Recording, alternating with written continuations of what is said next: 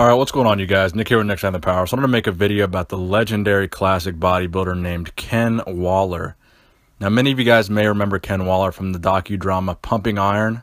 Um, so that was the movie where, you know, basically he stole uh, Mike Katz's T-shirt in the pump-up room of the uh, of the Mr. Universe that year. So he was trying to throw Mike Katz off of his game, and that's that's the scene that a lot of people remember him from. Was they kind of try to depict him as the villain or kind of like an asshole in Pumping Iron. They tried to make him kind of the bad guy.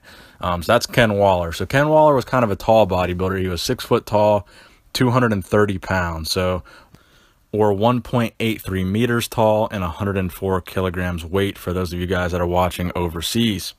So Ken Waller actually had a very vast and very long career in bodybuilding over three decades long. Um, he won the 1975 IFBB Mr. Universe the 1969 AAU Mr. USA, and in 1976, which was the year after Pumping Iron was filmed, he would win the over 200 division um, at the Mr. Olympia competition.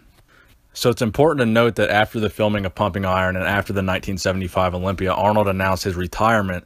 Now, I know he came back in 1980 and competed and won that year's Olympia, but the point in me saying that is in 1976, Arnold Schwarzenegger wasn't there competing in the over 200 at the Olympia, and neither was Lou Ferrigno.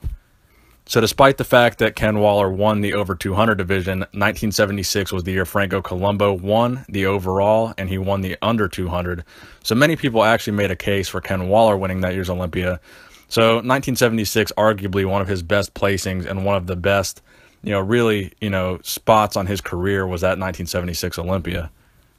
So, in addition to the titles that I mentioned before, this guy is also a NABBA Mr. Universe overall winner. So, again, continuing my series on former NABBA Mr. Universe winners, there's been a lot of amazing winners of that competition. And as I've said in many videos, prior to the Mr. Olympia and even during the Mr. Olympia in the early days, um, the NABBA Mr. Universe was the premier bodybuilding competition and was the number one most coveted title to win, especially back in the 50s, 60s, and 70s ish era that was the time where the NABBA Mr. Universe was really at its peak. So, in addition to that title, he has the Junior Mr. USA title. He also won the Mr. World title, the IFBB Mr. International title, the WBBG Mr. World title. He got second at that competition. The Mr. International, he would win that again in 1972. He won it the year prior in 1971. He won the NABBA World Championships in 1973 the IFBB Mr. Universe in 1975. Then, of course, 76, he would win the Mr. Olympia over 200 division. And then from 1976 onward, his placings would begin to drop. So he would compete all the way up until the 1981 Mr. Olympia, which is the year that Franco came back and won again. So Ken Waller, like I said before, he had a very long and very successful bodybuilding career, and I feel like not a lot of people really talk about him or mention him among the names of great legendary classic bodybuilders.